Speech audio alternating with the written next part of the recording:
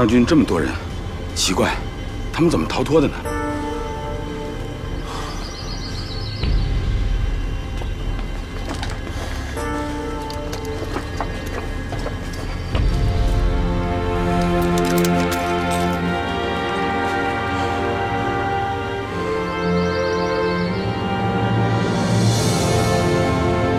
小磊，你说依靠这根树头，能不能游到对面山坳里去？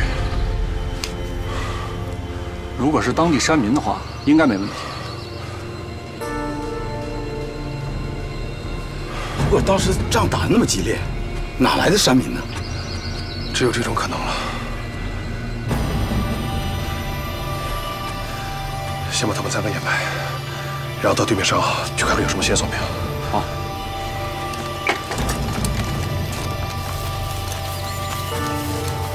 再往上走一段就是山洞了。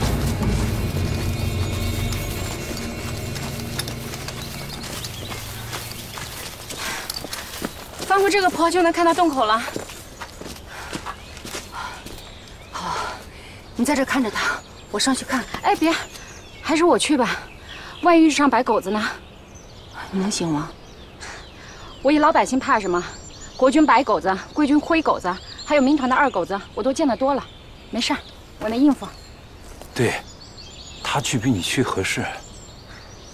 哎，来拿这个，带着麻烦，你们在这儿等着啊。刘老总啊，哎，山妹子小心！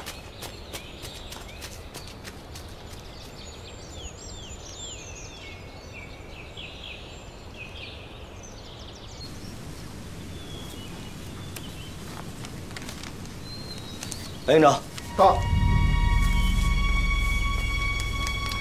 你带少量的部队，远远的跟着共军接应小分队，随时跟影子保持联络，掌握他们的行踪。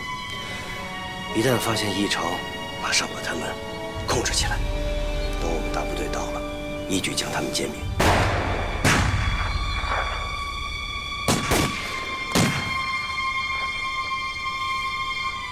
好像是山东那边，敌人到那儿了，不会赵云他们也到那儿了吧？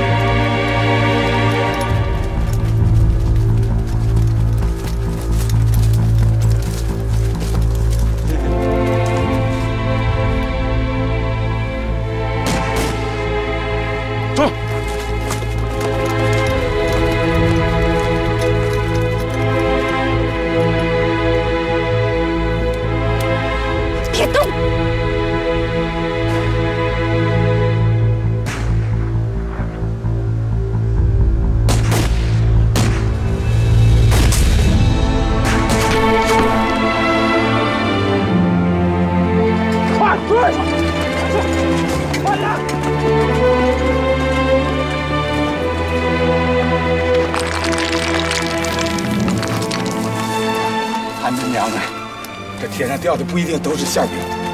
快乐！干什么？注意啊！走。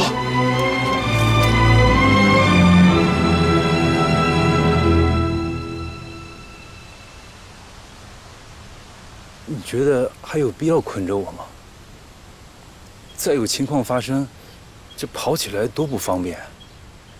再说现在中央军那是见着我也开枪啊。我建议解开绳子，给我猎枪，共同应对，供你参考，由你决定。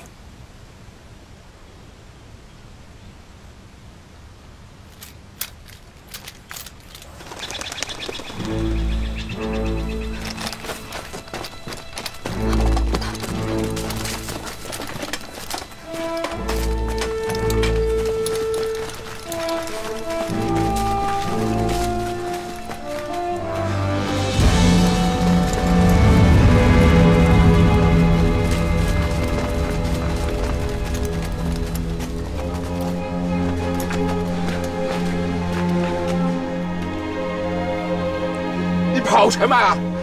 狗撵兔子，兔子不跑吗？哟呵，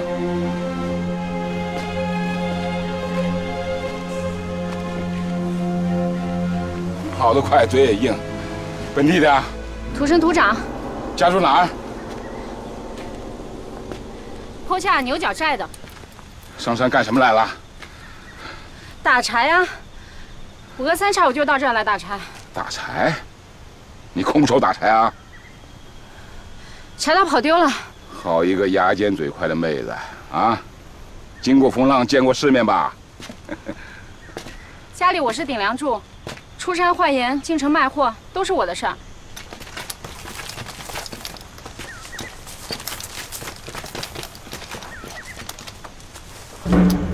刚才说你隔三差五就上山打柴，对啊，不打柴，我们家烧什么呀子，还怎么在这儿？舍不得他哥呗？那你昨天上来了吗？昨天，昨天没有啊，昨天上来，今天就不用来了。算你到我的桌子，等等我递一下。把带回山东去。哎，别过来，过来我就跳下去。哎，哎，哎，妹子，你你你冷静点，冷静点。你你干什么？别过来！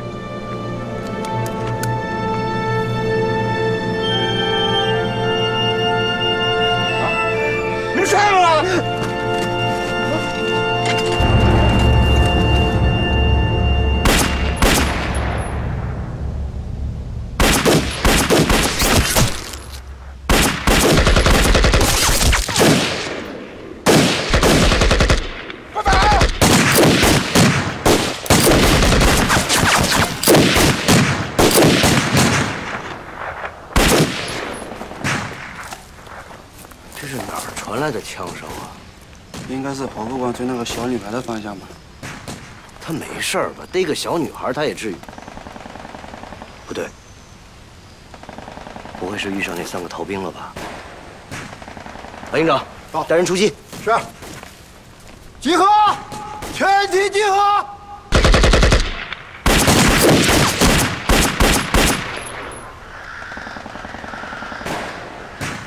乌鸦怎么一天老跟着我呀？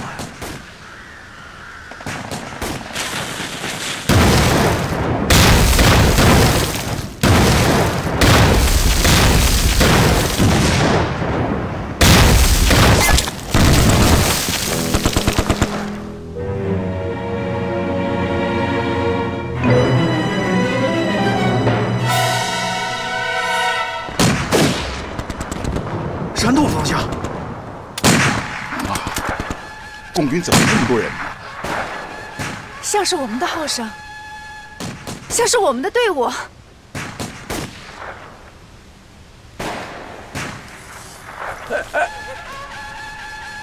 不会教导员能打回来了吧？杨振宁要是打回来，那我就白跟他搭档这么多年了。先解决战斗。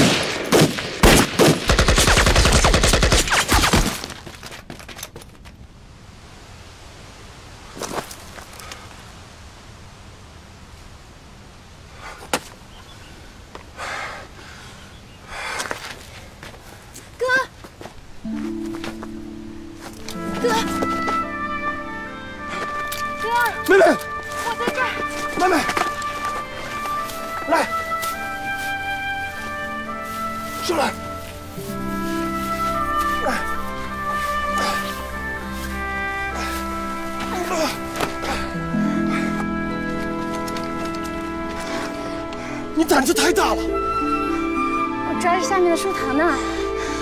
你把我这个身经百战的人胆子都给吓破了，你知道吗？巧妹子，巧妹子，你从哪儿冒出来的？这简直就是从天而降啊！这个你怎么在？我来找你啊！我不是跟你说了吗？很危险，很危险！你看看你刚才多危险呐！可是我等不及了，我就要跟你在一起。我看你就是个疯子，疯子，你知道吗？我跟你说过，我们是来打仗，打仗的，打仗是会死人的，你不明白吗？跟你说了一百遍，你都不明白。昨天打了一天的仗，来接应的三个同志已经牺牲了，还有两个现在找不着。你要是看到当时那个惨样，我我看见了，我当时就在铜山顶上。你是不是真疯了？当时你们正在应付白狗子的时候，我就悄悄地跑了下去。我看他们还有口气。我就把他们用树藤悠到对面的山坳去了。他们，他们是谁啊？就是你们要接应的张连长。哦，对，还有那个俘虏。妹妹，你，你，你可不能信口胡说呀！真的，谁信口胡说了？我都把他们带来了。你把他们带来了？他们人呢？在哪儿啊？就藏在下面的树丛里啊。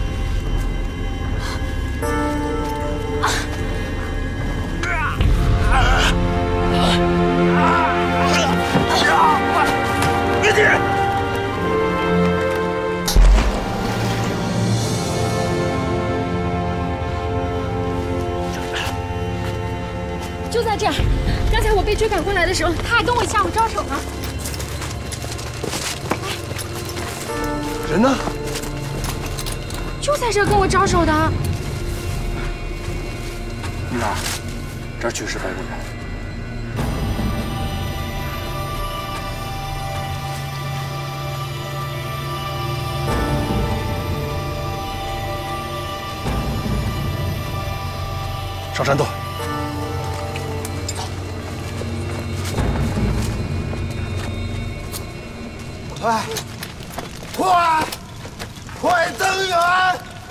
伤亡惨重，伤亡惨重啊！快，把伤抬走，都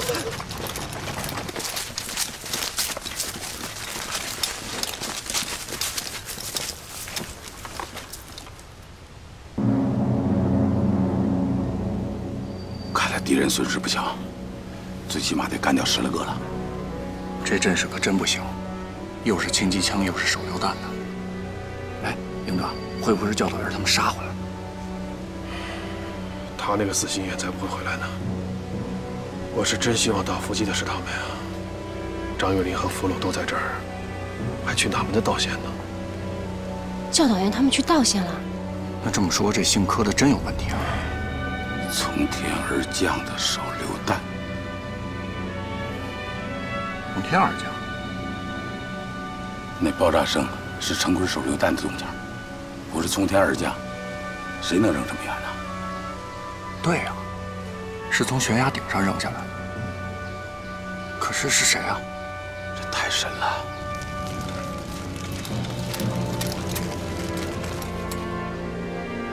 找。找到袭击白狗子的人，这从天而降的大部队，巧妙迅猛的奇袭，让肖少白措手不及。所有人都不知道，导演这出好戏的人不过是两个弱冠少年，死而复生的二伢子，以及少共国际师掉队的女战士菱角。但是身处险境，他们的命运又会如何呢？双双怎么也不说一声？怪我不好，我没有保护好你。不管，我自己笨，没有隐蔽。快！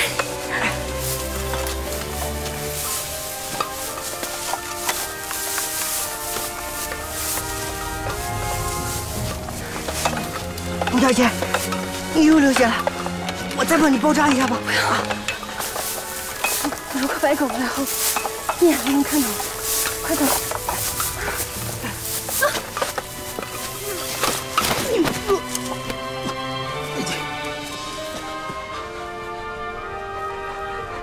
林小姐，顶住，顶住，顶住啊！林小姐，我会想办法的啊，我来想办法。林小姐，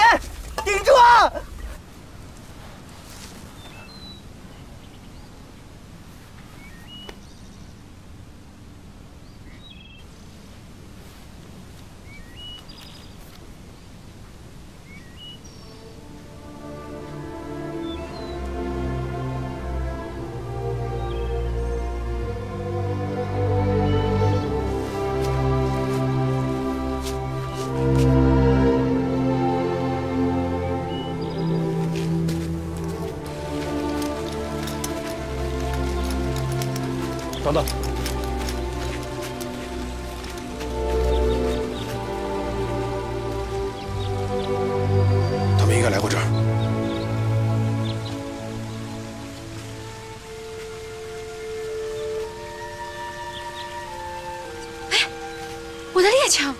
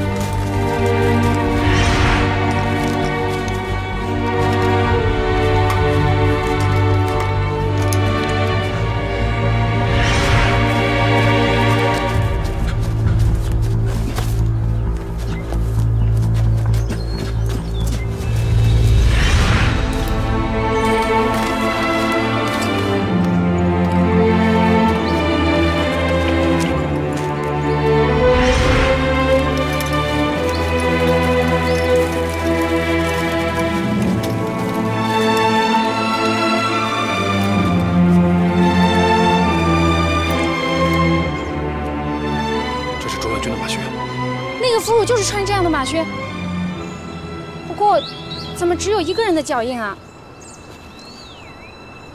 张月林这是怎么了？陈俊元不会是扛着他在走吧？你说什么？扛着张月林？从这个脚印看上去，不止一个人的分量。呀，他不会把张月林给害了吧？害了他还扛着尸体走干嘛呀？哎呦呦呦呦，俺的娘哦！这今天这神神叨叨的事儿太多了。哎，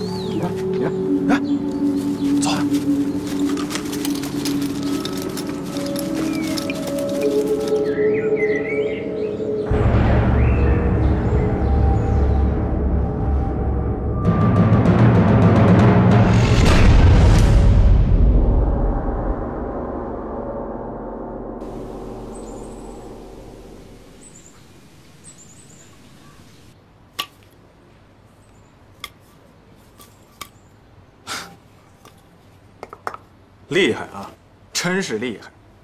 要说还是这洋铁格子管用啊。楚长官，也请你帮我们向蒋委员长打个报告，帮我们贵军的兄弟也装配一批啊。张副官这话当真？哈，开个玩笑。军中无戏言。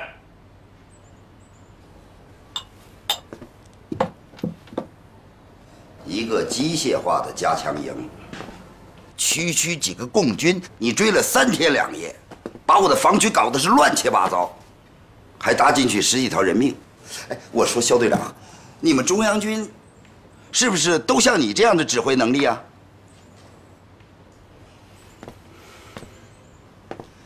特使车队遭袭，护卫队全体阵亡。嗨，你却大难不死。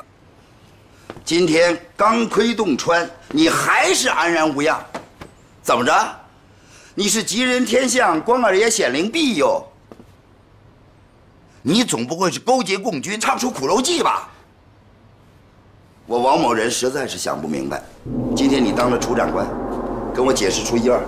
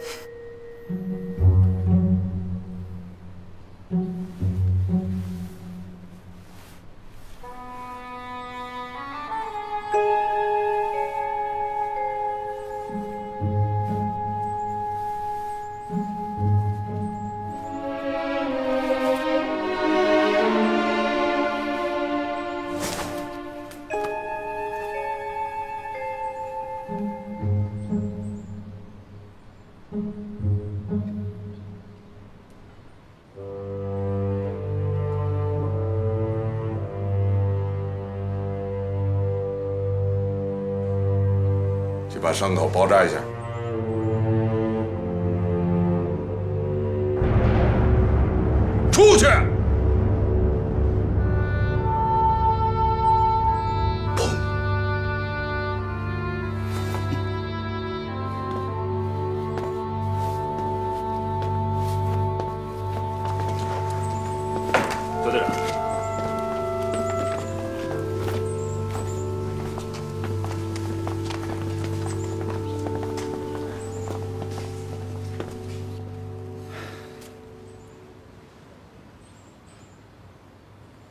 既然你王师长执意不肯调兵协助，那我只好请示委员长，再调中央军入桂了。这个恐怕白长官不会同意。请求援助你们不肯，我要调兵你们又不让，哼！难道就任凭共军在广西为所欲为，是委座的特使性命于不顾吗？我告诉你，王占斌，陈俊言身上可带着委座给你的亲笔信。如果你不怕遗失、不怕泄露的话，我看你王占斌就等着去你们白长官那儿喝茶吧。哎，楚参谋长，楚参谋长，请留步。是。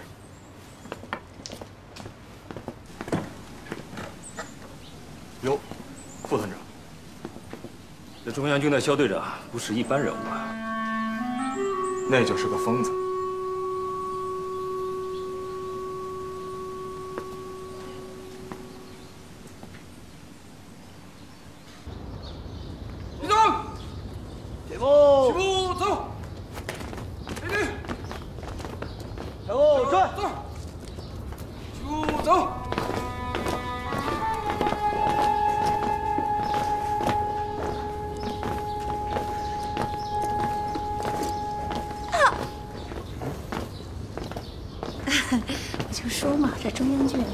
就是比桂溪大方。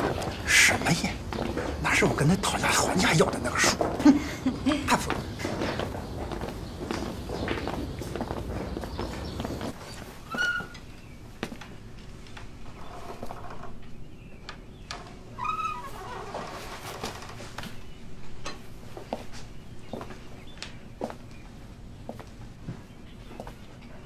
肖队长，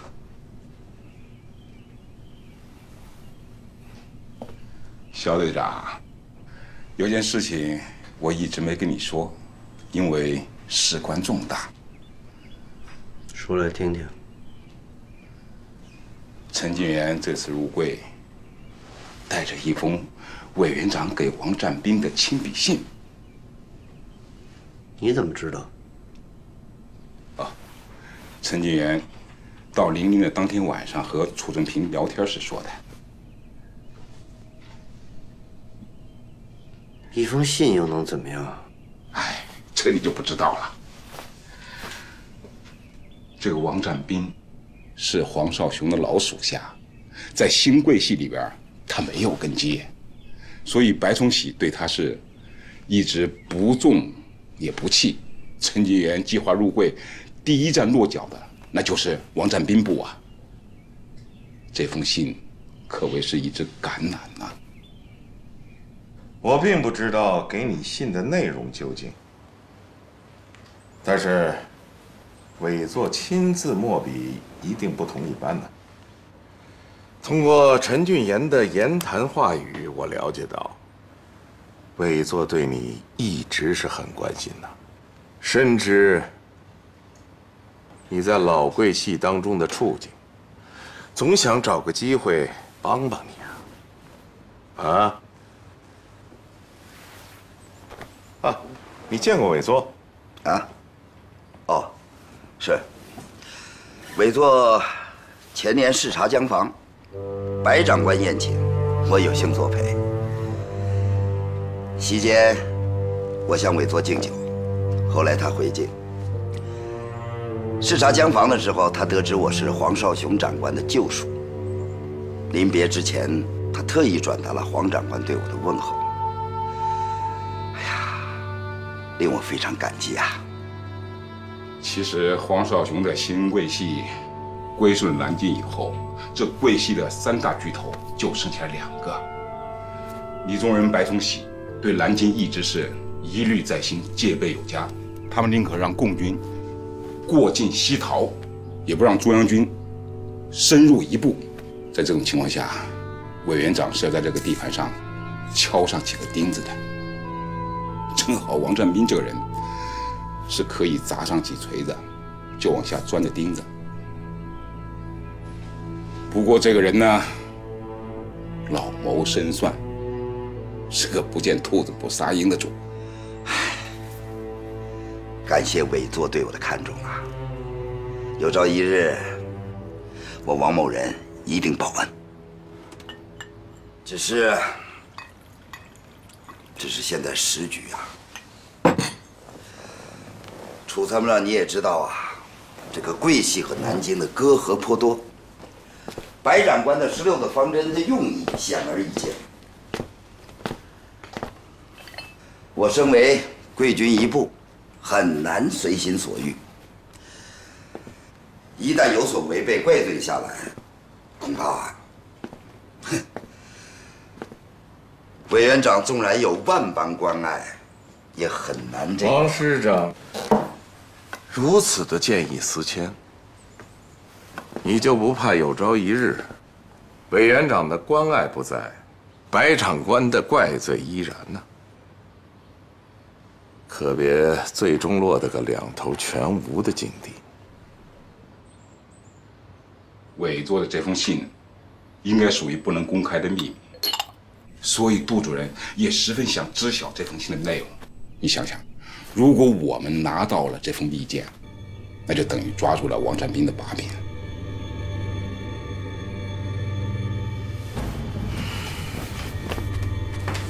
哎哎哎，你你没事吧？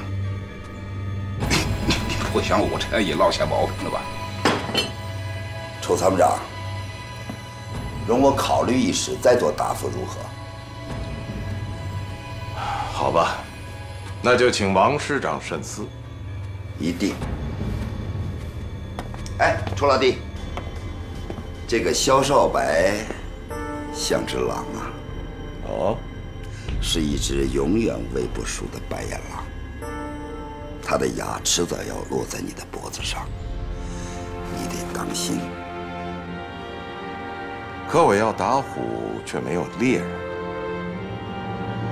所以我不得不带条狼过来。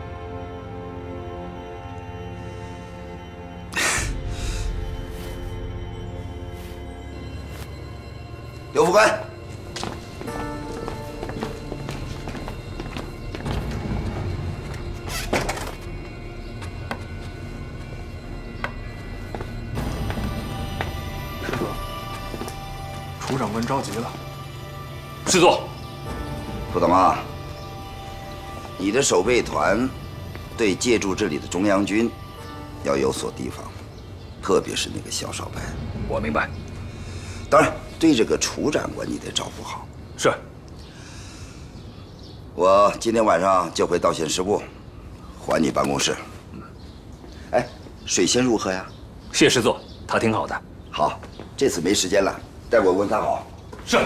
楚正平这回可是真急了，他可能要亲自在食堂督战，抓住陈进言。咱们可是立了军令状的，所给的期限可是不多啊。就算抓住陈俊言，那也是一具尸体。我绝对不能让陈俊言见到楚正平。嗯，那可不容易。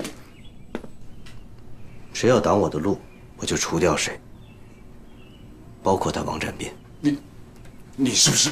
我是不是太狂妄了？哼！抓住陈俊言，找到那封密信，他王占斌不就被除掉了吗？师座，关于委座给您的那封亲笔手谕。这会不会是蜀正平编造出来的一个虚无缥缈的故事，意在给您施压，迫您出兵的呢？这个虚无缥缈的故事，倒是让我想起了当年蒋公在贵期间与我接触的某些细节。现在看来，似乎都是某种暗示。那照您的意思？这封手谕是很有可能存在的，存在不可怕，怕的是有朝一日他躺在白崇禧的办公桌上，那我就说不清楚了。到那时候，正如楚正平所言，是两头都无。帮主正平，会引得白宫以为咱们背信离德；不帮，南京方面肯定有不满。看来，总有一头我们是顾不上。在这情况不明的时候，我们恰恰两头都得顾上。不见真福之前，我是绝对不会贸然烧香的。但是，我们也不是像原来那样全盘拒绝。本来啊，只要不把我们绑在一起沉下去，随他们。可是现在，事情越闹越大。一旦故事成真，我们毫无动作，这跟绑着沉下去没什么区别。所以，我们现在就真当有这个故事，比当没有这个故事要妥当。师座，卑职有一个主意。讲。我是按照您的思路去想，我们满足楚正平，您把我派到三团去挂副职，我率部去帮助楚正平。参与其中，观察其动向，迅速地找到陈俊言，并拿回委座给您的亲笔手谕。其他的事情一概敷衍。在此之前，您只要致电白长官，就说您前段时间因为剿匪的事情殚精力竭、积劳成疾，现在只是想暂退养病。到时候如果上峰发现这件事情怪罪下来，您大可以称自己什么都不知道，完全是我张有为一个人的个人行为。到时候降我的职。定我的罪。如果这样的话，无论是白长官还是南京方面，您都好交代。您觉得这个主意怎么样？有为啊，你让我刮目相看呐！只要师座认可，有为勇敢向前。好，这件事。你是最合适的人选，谢师座给卑职这个机会。张有为，到，拿到委座手谕是你的首要。是。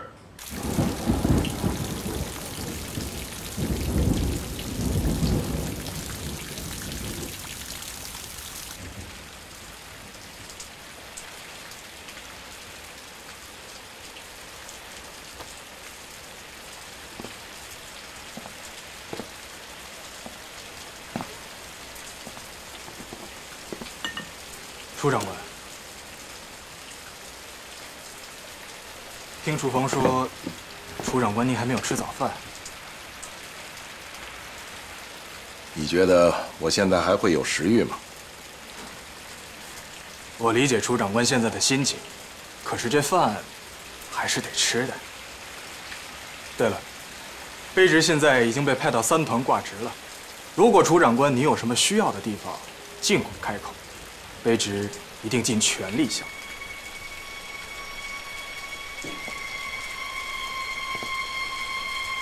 你知道我需要什么？我要进山打虎。那您就需要一名猎手。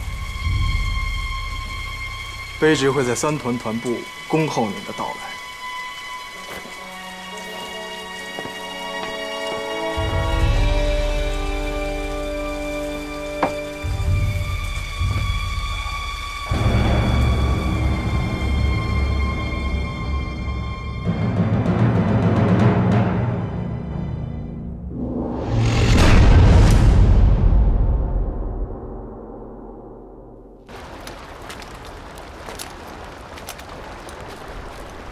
我们行进的路线是不是绕弯子太多了？这样会耽误很多时间的。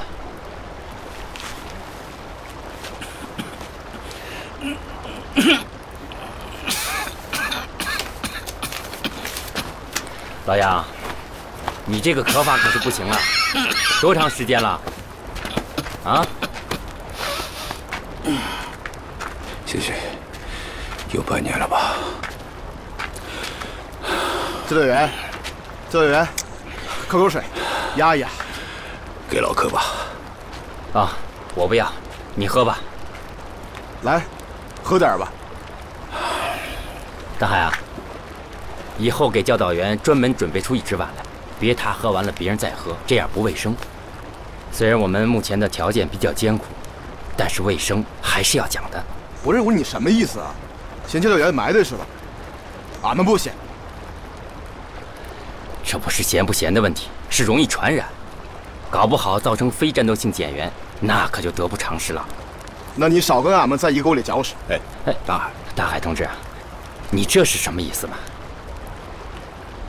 哎，大海，老柯说的对，以后啊，我跟大家隔离一下就是了。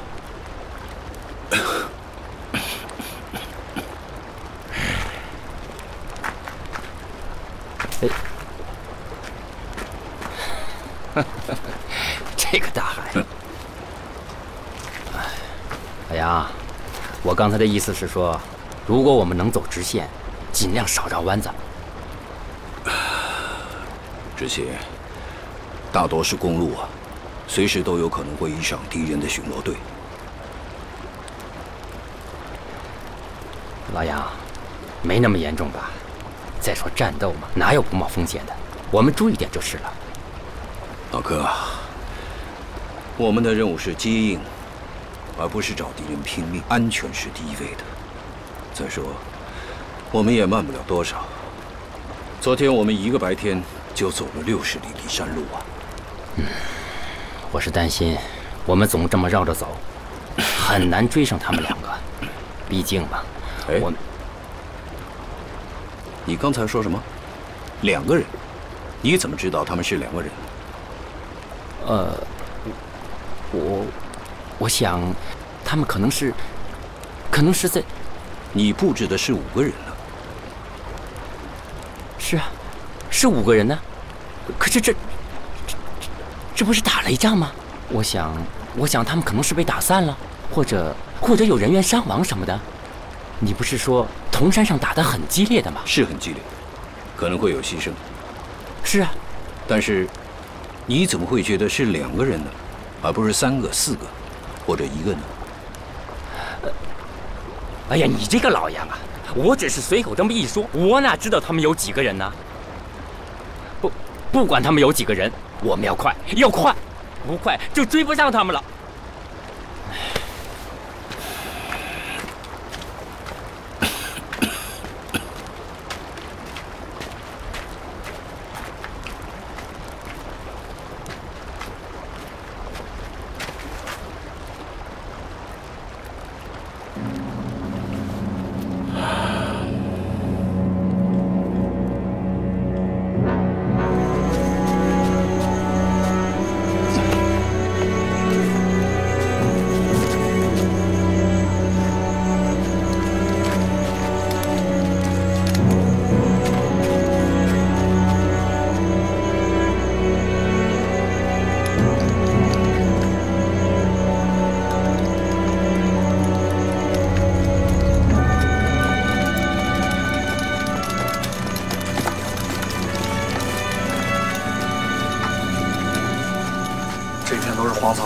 根本留不下脚印。